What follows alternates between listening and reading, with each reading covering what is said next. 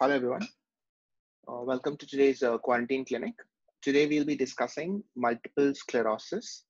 So, this is the first time that we are discussing a demyelinating disease.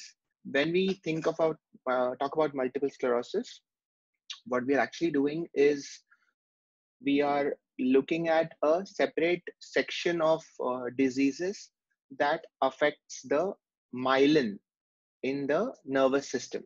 So before we get into what is multiple sclerosis, I thought that we could uh, have a five minute discussion on what is uh, myelin dysfunctions.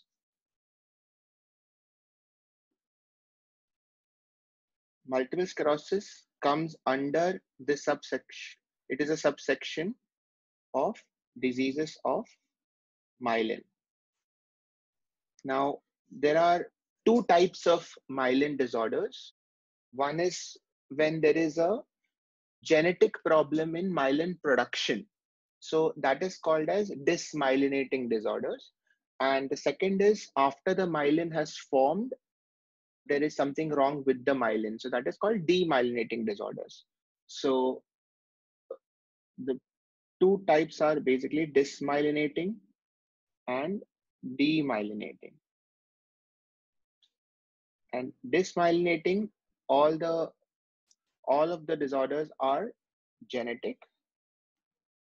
So for example you can have adrenoleukodystrophy or uh, Krabbe's disease or uh, even your uh, alexander. So these are all different types of disorders that affects the myelin production. And today we are not going to talk about dysmyelinating disorders. Today, we are going to talk about demyelinating disorders. And in demyelinating, there are multiple causes for demyelination to happen. And one of them is autoimmune. So when we say autoimmune, we mean that your body has attacked its own cells. So you have autoimmune, you can have infectious causes of demyelination, you can have toxic causes of demyelination. You can have metabolic causes and you can have vascular causes. So today we are going to be mainly talking about autoimmune causes of demyelination and uh, the different types of autoimmune cause of demyelination can be one of them is MS. So our main topic for today is MS, but this is the overall flow chart as to where MS lies inside the bigger uh, spectrum of myelin disorders. And there are other autoimmune demyelinating disorders such as ADEM and uh, NMO, that is neuromyelitis optica. So these are different uh, types of autoimmune demyelinating disorders. But today we are mainly talking about MS. Now, before we talk about MS in specific, I want you to just understand about myelin itself. What is myelin? So myelin is the protective covering that is present over axons. So we've already spoken about how a neuron has a cell body and it has an axon. And the purpose of the axon is to carry the impulse from the cell body all the way to the next neuron. So it carries the impulse, it carries nutrients. So there is there is a lot of functions for the axon, and the myelin is a covering that is present around the axon. And if there is a problem in the myelin, then eventually there will be a problem in the axon. So that is called as secondary axonal damage. So if your myelin sheath is uh, affected for some reason, then eventually your axon will also suffer some damage. That is secondary axonal damage. But all our demyelinating and dysmyelinating disorders have to do with some problem in this myelin sheath. So the covering of the axon. So if you look at this from a cross section, we'll see that suppose this is the axon. The myelin is actually like a spiral structure that is covering the axon. So this is the myelin. And this is how the uh, myelin envelops the axon. Uh, so it acts as both an insulation and it helps to transmit the information faster. So what is this? What, how does this myelin come around the axon? What, what is the process of uh, myelin sheath formation? So for that, you need to know something called as Schwann cell and oligodendrocyte.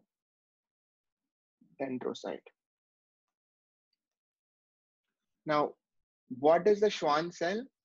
A Schwann cell is a cell that has a it has like a flat surface and what the Schwann cell does is it goes and attaches itself to the axon and then it wraps around the axon. So it wraps its cell body around the axon. And if there are multiple Schwann cells like this, eventually this forms the myelin sheath around the axon. Okay.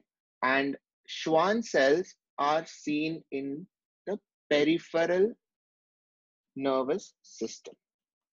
So you know that in your body, you have a central nervous system and a peripheral nervous system. The central nervous system goes from your brain up to your spinal cord and your peripheral nervous system is from the roots, the plexus and the nerves. So this is the peripheral nervous system. So the Schwann cell is a part of the peripheral nervous system. So it forms the myelin sheath in the periphery. And in the center, that is in the brain and the spinal cord, it is the function of the oligodendrocyte to form the myelin sheath. So what is the difference between the Schwann cell and the oligodendrocyte? The Schwann cell, as I just described, is a cell which has a single uh, flat surface, whereas an oligodendrocyte has multiple flat surfaces.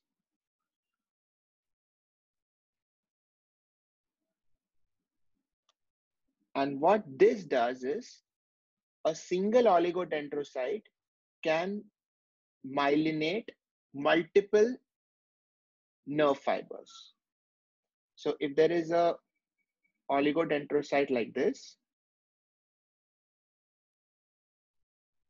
then it can wrap itself around multiple axons so that a single oligodendrocyte can myelinate multiple axons around it. Okay, so that is the main difference between Schwann cell and oligodendrocyte. And this is important in MS because when we talk about multiple sclerosis, we are dealing with a disease that affects only the central nervous system. So multiple sclerosis does not affect the peripheral nervous system. And possibly one of the reasons why that is so is because the disease affects a protein in the myelin sheath that is specific to the central nervous system. So if it was both exactly the same, then there would be no reason why there should be any difference. But now we know that because it is formed by different types of cells, then there is an inherent difference in the myelin between your peripheral nervous system and your central nervous system. And there are a lot of disorders that affect only the peripheral nervous system. For example, uh, Guillain-Barré syndrome is a disorder of only the peripheral nervous system. So that that affects the myelin sheath of your nerves, not in your brain. But multiple sclerosis affects the myelin sheath in your brain. And now we'll talk about how does it do it? How does it affect the myelin sheath? So to put it very simply, you have the axon and you have the myelin sheath around it. The myelin sheath contains proteins. It contains multiple proteins. Now, assuming that there is one particular protein against which you have auto antibody. So your body's immune system in a normal person, if there is a pathogen, if there is an infection that enters the body, your immune system has a role in attacking this pathogen. And the way it attacks it is through your immune system, which and that contains your innate and your adaptive immune system.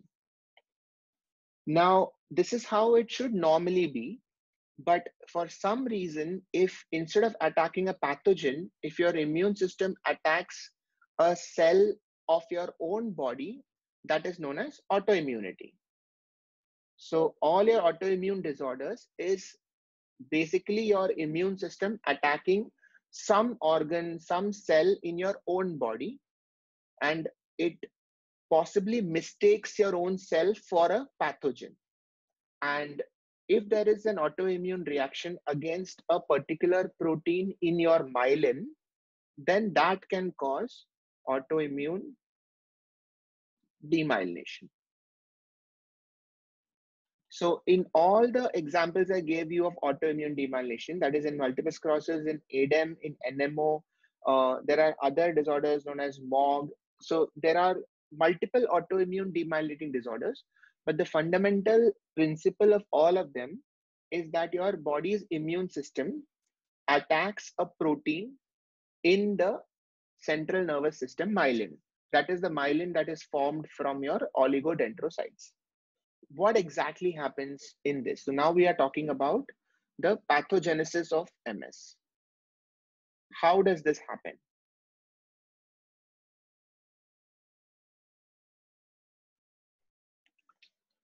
So let's imagine that there is a there's an infection. Now this infection can be uh, anything. It can be respiratory.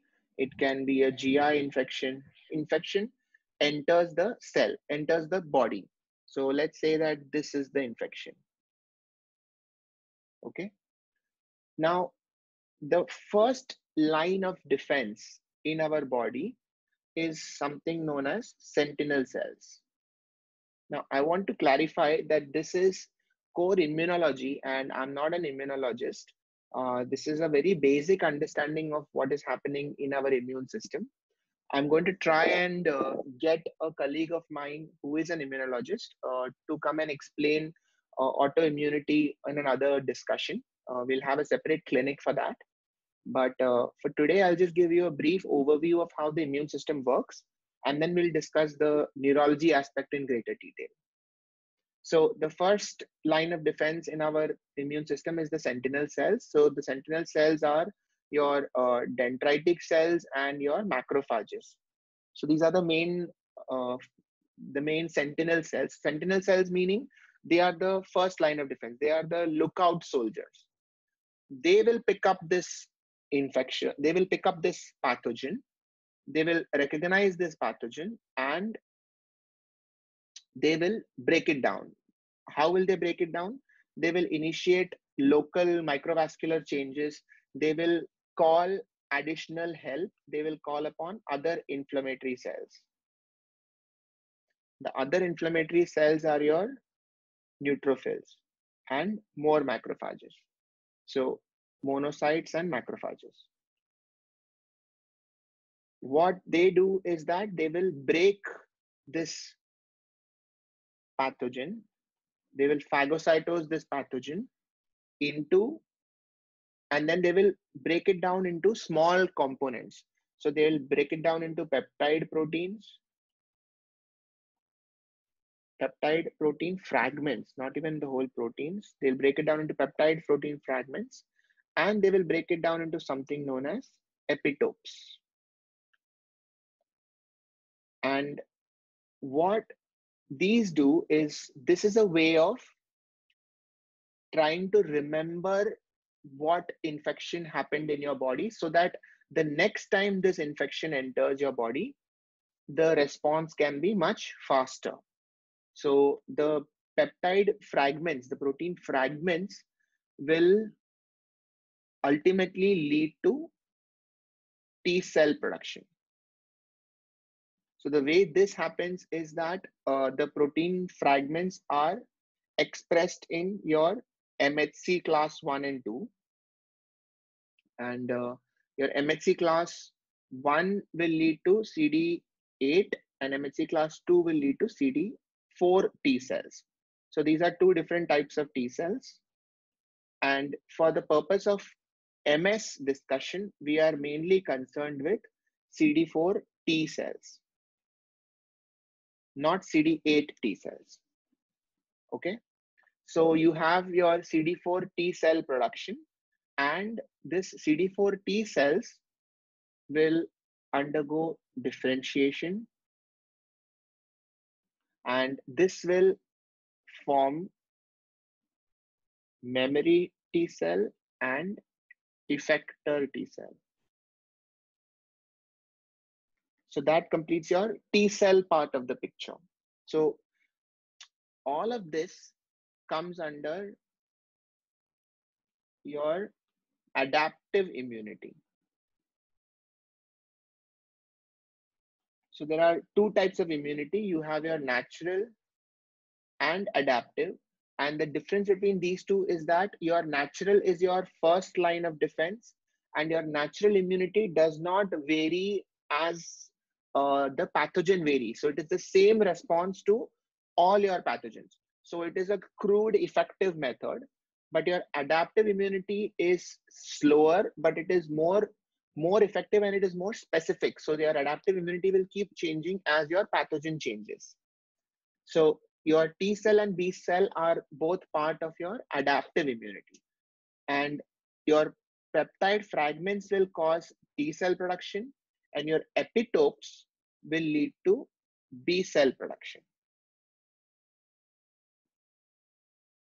Uh, so basically the way this happens is that these epitopes are carried to the lymph nodes. The lymph nodes have the B cell. The B cells will eventually, they will get activated by the effector T cell. And then these B cells will form memory B cell and effector B cell. So both your T cell and B cell have a sort of similar flow, but you need the effector T cell to stimulate the B cell production, and your effector B cell forms plasma cells, and plasma cells forms immunoglobulins, that is antibodies. So out of all this, what are the two cells that we are ultimately concerned with? we want to know what happens with the effector T cells and we want to know what happens with the immunoglobulins, that is the plasma cells. Because in the end, these two are the ones that will actually cause cell damage. So to recap, your, a pathogen enters your body and ultimately you have effector T cells and you have plasma cells. Now, the important thing to know is that these are both in your body. They haven't entered the brain yet.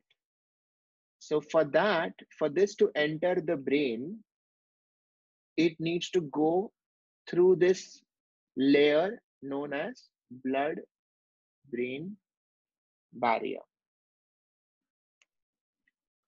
And this is a key factor in multiple sclerosis because it doesn't matter how many effector T cells and plasma cells are there in the body, but as long as they don't enter into the brain or the spinal cord, they will not cause multiple sclerosis. So the only way they can enter is if there is a, a breach in the blood brain barrier.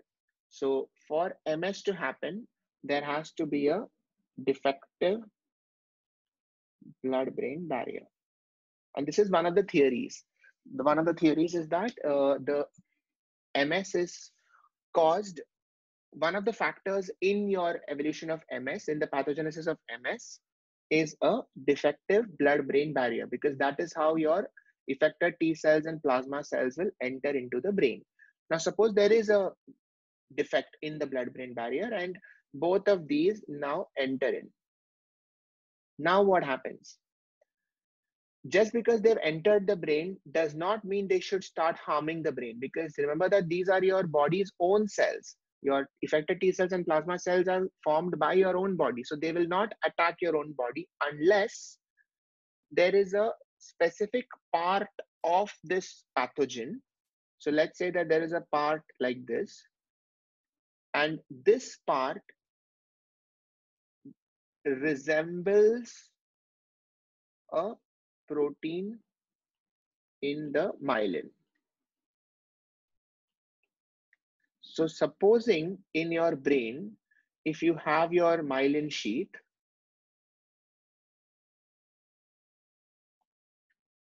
you have a myelin sheath around the axons, and part of that myelin sheath is a protein that looks very similar to the pathogen, then when the T effector cells and the plasma cells enter into the brain, they will spot this pathogen. They will spot this protein, sorry, they will spot this protein and they will immediately get triggered because now they remember the earlier infection. So then they will consider this to be part of that infection and then they will attack. Okay. Now there is some more complexity to this, of course. So you have your immunoglobulins that first bind to this protein, and then the immunoglobulin will ask the T effector cell, should I attack? Because uh, there is always a uh, sort of a cross check mechanism. But because the T effector cell is also convinced that this is a pathogen, the T effector cell will give the permission for the immuno, immunoglobulins to attack. So that is how the uh, whole uh, pathogenesis happens. But for now, for the sake of this discussion, uh, this much is enough. We should just know that the one of the main theories of how MS uh, happens is that there is a pathogen. Your effector T cell and plasma cells uh, remember that pathogen. There is a blood-brain barrier defect. They enter into the brain and it will cause local inflammation.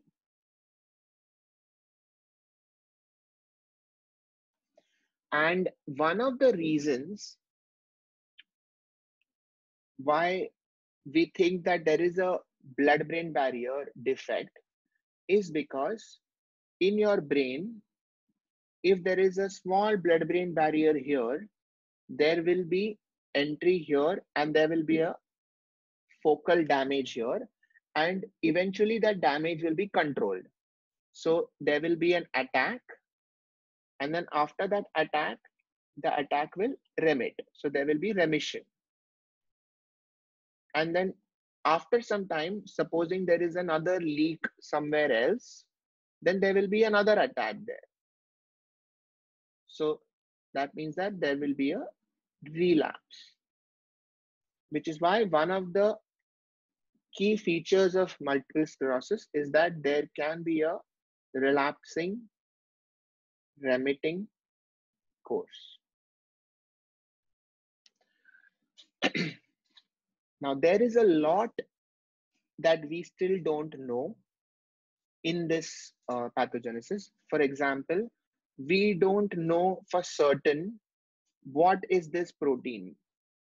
In the myelin, we don't know what is the protein that is being attacked we don't know why the blood brain barrier becomes defective. There are some theories but we are not still sure. We don't know why there is only a focal inflammation and why the inflammation doesn't spread all over the brain. And we don't know why there is recurring blood brain barrier defect. So these are a lot of things that are still under research. But overall this is the pathogenesis of Uh, multiple sclerosis and initially it will there will be an attack it will remit and then later on it might relapse. What happens if this keeps happening? Eventually the remissions will stop. So eventually once there is an attack there will be no remission because the damage is too much and whatever is that damage that has happened will continue it will sustain so if you look at it from a form of a graph, if this is relapsing remitting, it will look a bit like the graph will look like this. So there will be an attack and then it will remit. And then after some time, the patient will be normal. And then again, there will be an attack. Again, there'll be a remission and so on. But eventually it might lead to a place where the attacks will not remit completely. And so the next time there is an attack, the damage will be more and more until slowly it will start increasing like this. Okay, so this is called as secondary progressive MS. So secondary progressive. So initially it was sort of like a relapsing remitting, but then eventually it went into a continuous progression. What if there is no relapsing remitting course in the middle? What if right from the first attack, the patient has symptoms like this? This is known as primary progressive MS. So there is no remission at all. So there is no remission there is only attack and worsening, attack and worsening. Now, this is obviously a much more dangerous form of MS. Thankfully, it is not as common as relapsing remitting. So, most of the patients of MS, 85% of MS patients will have a relapsing remitting course. But unfortunately, out of those 85%, almost two third of them will eventually become secondarily progressive. That means that after a few years, their uh, remissions will keep decreasing and the relapses will keep increasing. And the remaining 15% will have a primary progressive MS feature. So, right from the first symptom, they will not have any uh, remission, they will only have worsening okay. Now since i've spoken about relapsing remitting secondary progressive and primary progressive there is one more term that i want you to know. That is clinically isolated syndrome which in simple terms it is the first attack of ms so the first time a patient comes with something that can be multiple sclerosis we don't know so for example, if we are looking at the patient here, so at this stage, we don't know how the progression can be. We don't know if the progression will be remitting or it will be eventually secondary progressive or will it continuously progress. So at the clinically isolated syndrome state, we don't know if it will be a relapsing remitting or a PPMS, but at that point, we can diagnose it as a clinically isolated syndrome. Okay. Now, uh, let us talk about MS itself. What happens in MS? So, what are the clinical features of MS? So, to understand this, you have to know what what does an attack of MS do? Now we spoke about how your myelin sheath is attacked. So here, if there is an attack, your myelin sheath will get uh, will form come under attack. There will be inflammation around it, and eventually your axon there might be an axonal damage.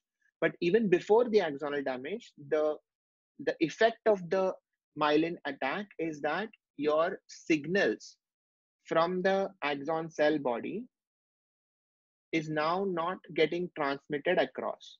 So for all intents and purposes, it is like there is a block here.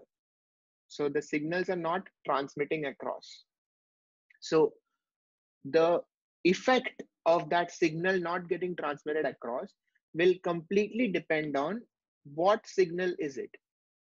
And by what signal is it, I mean which neuron is it, which axon is affected, and it is part of which network, which neural network. Now, supposing if this axon was part of your speech network, then the effect of this attack will be loss of speech. If this was part of your sensory network, then you will have sensory loss. If this was part of your motor network, then you will have weakness. So the presentation of multiple sclerosis completely depends on where is the lesion. Okay, so coming back to this, if there is a lesion in your motor cortex, that can be weakness. If there's a lesion in your sensory cortex, there can be sensory loss.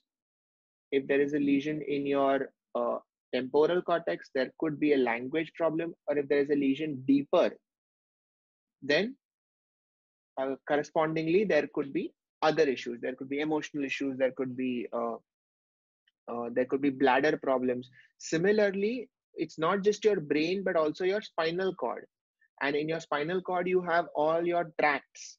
So if your motor tract is involved, if your sensory tract is involved, if your autonomic tract is involved, all of them will have different uh, effects. So roughly your main effects are motor, sensory, bladder, bowel, and sexual. And you can have generalized symptoms like fatigue. What are the uh, features of MS that you will not expect to see. So things that uh, you feel that cannot come in MS, or if you see those features, you will think this may not be MS. So one of them is a steady progression. So as I said, primary progressive MS can present in a steady progressive way, but it is only 15%. So before you diagnose primary progressive MS, you need to rule out other causes of uh, progressive neurological disorder. Uh, another thing is age. So MS usually presents in young adults. So if you see a patient less than 10 years or more than 50 years presenting for the first time with MS, then it is a little rare. Uh, other features are cortical damage. Now, this is important to understand. What do I mean by cortical damage? You in your brain, you have the cortex outside, and inside you have the subcortex. Now, the cortex contains all your axons. Sorry, your cortex contains all your cell bodies. And you know that MS does not affect cell bodies. What does it affect? It affects the axons. So the uh, axons that leave the cell bodies because the axons have the myelin sheath. And all the axons are located more in your subcortex.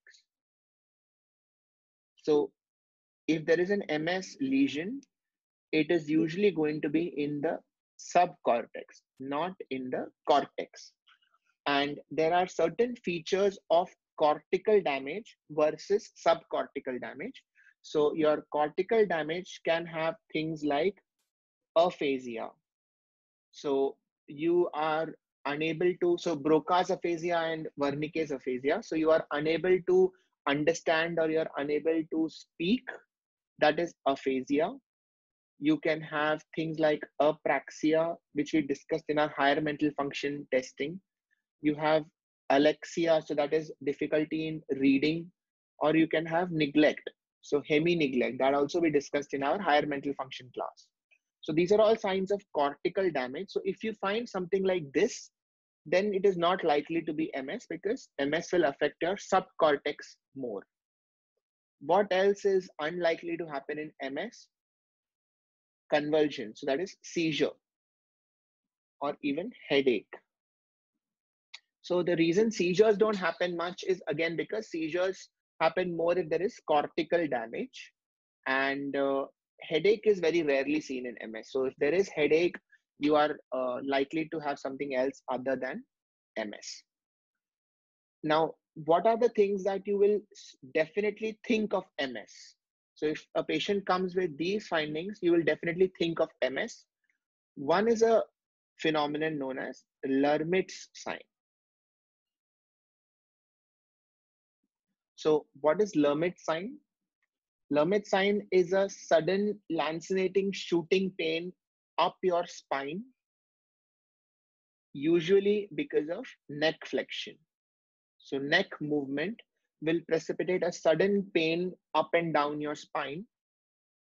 And uh, another phenomenon is known as Uhthoff's phenomenon. And Uhthoff phenomenon is when your uh, features of MS, all your clinical findings of MS will become more, it will worsen in warmth exposure. So if you have a hot shower, then these patients can have increased clinical findings.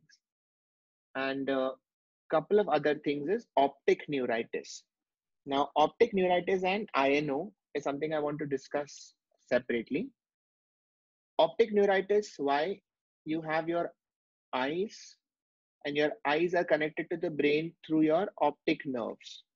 And your optic nerves also have myelin sheath around it.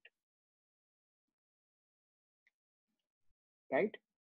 So one of the features of the myelin sheath around optic nerve is that this is also part of your central nervous system myelin. As opposed to all your other nerves which has your peripheral nervous system myelin your optic nerve has myelin which is central nervous system. So this myelin can get affected in ms so that is the reason optic neuritis is very common in multiple sclerosis.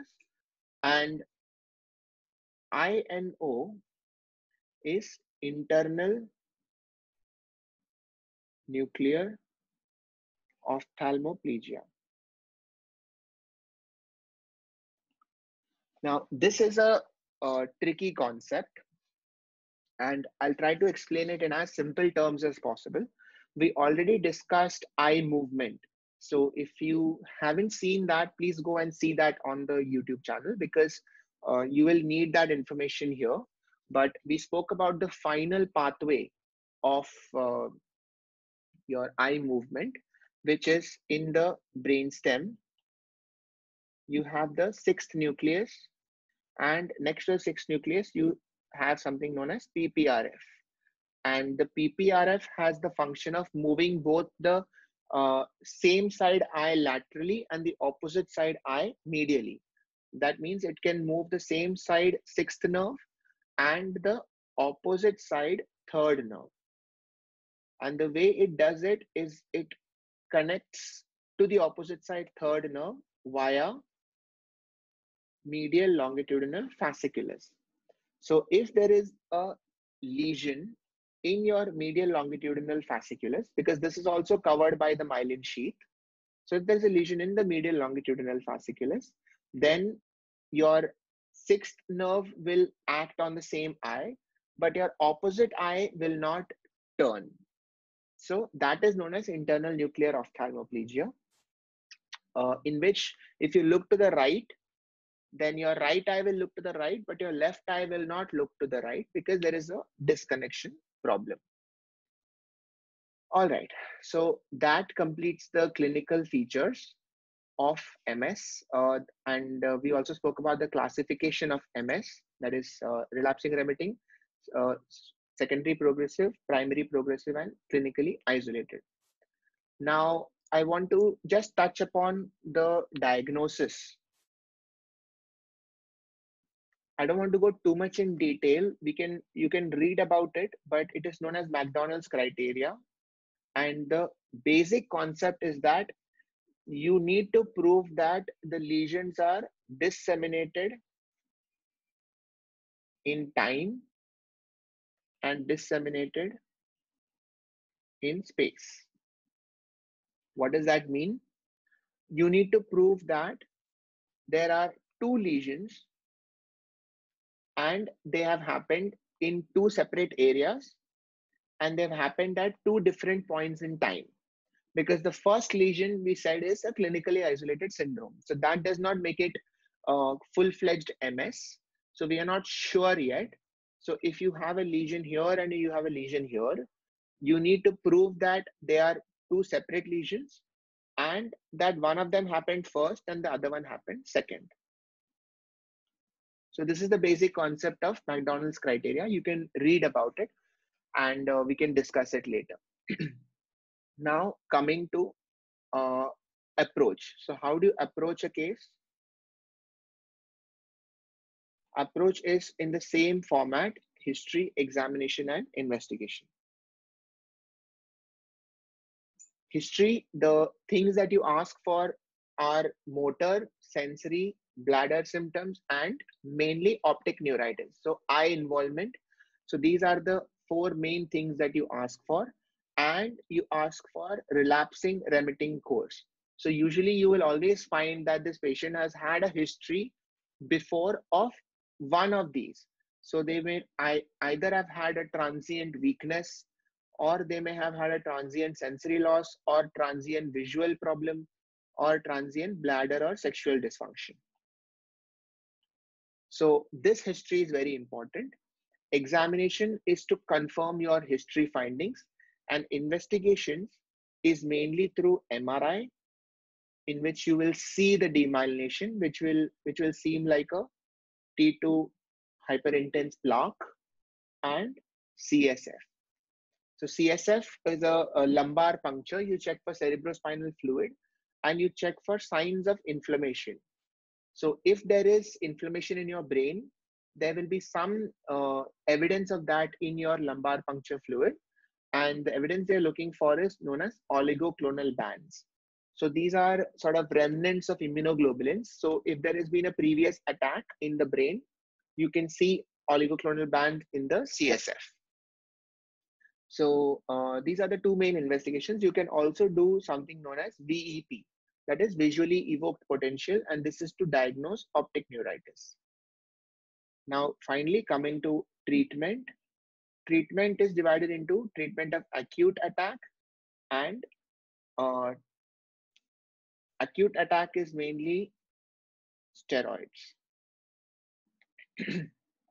okay, so treatment of acute attack and disease modifying treatment. So your acute attack is managed by uh, injectable steroids and disease modifying therapy has oral and injectable and infusion. Now, I don't want to go too much in uh, detail about each individual uh, type of uh, treatment options, but uh, the main, I'll just give you the names of the drugs and then you can uh, read about it. The oral treatment is the options are dimethyl fumarate, teriflunomide, and fingolimod. And uh, injectable injectable therapy is interferon, beta 1A, and glatiramer. And infusion is through either natalizumab or recently approved drug is ocrelizumab. So this is the uh, overall picture of multiple sclerosis. We spoke about uh, what are the types of uh, demyelinating diseases. Uh, we spoke about uh, how there can be genetic diseases and uh, acquired diseases and acquired is called demyelination. It can be because of autoimmune infection, toxic and vascular. MS is a type of autoimmune disorder. We spoke about what is myelin, how myelin is formed. Uh, in central nervous system, it is formed by oligodendrogliocytes. Uh, there is a protein in the myelin which is acted against by the immune system. We spoke about the pathogenesis, how an infection can trigger this autoimmune reaction via CD4 and B cells, mainly CD4 T cells, B cells that enter into the brain via defective blood brain barrier. And this will cause uh, damage to the myelin sheath and it may cause secondary axonal damage usually the attack will remit and then later on it will relapse again. So that is relapsing remitting type. If it stops uh, remitting, it will become a secondarily progressive type. And if it is never remitted, then it becomes a primary progressive. The first attack is known as clinically isolated syndrome. Clinical features is motor, sensory, bladder, and fatigue. And it is usually a subcortical lesion. The red flag signs are uh, young age or old age, uh, signs of cortical damage, convulsion, and headache. And your uh, the signs that you will definitely look for is Lhermitte sign, Uhthoff's phenomenon, optic neuritis, and INO. Optic neuritis because your optic nerve is damaged, and INO because your uh, medial longitudinal fasciculus is damaged. The diagnosis criteria is called as McDonald's criteria. You need dissemination in time and dissemination in space. And uh, the approach is through history taking, examination, and investigation. Main investigations are MRI, CSF, and VEP. And treatment is divided into acute and uh, disease modifying therapy. So this is uh, approach to multiple sclerosis. Uh, if there are any questions, you can ask me. So increase in temperature slows down. Uh, no. So the reason for that is uh, it's considered that Uhthoff phenomenon is because of uh, because there is increased uh, temperature, your inflammation in that area increases, and uh, the the overall speed of conduction uh, decreases. So then these symptoms become more evident. So that is why uh, there is a correlation with temperature. All right. Thank you all. Uh, on Sunday, we will be discussing Uh, neuroscience of emotions. So thank you. Take care, everyone.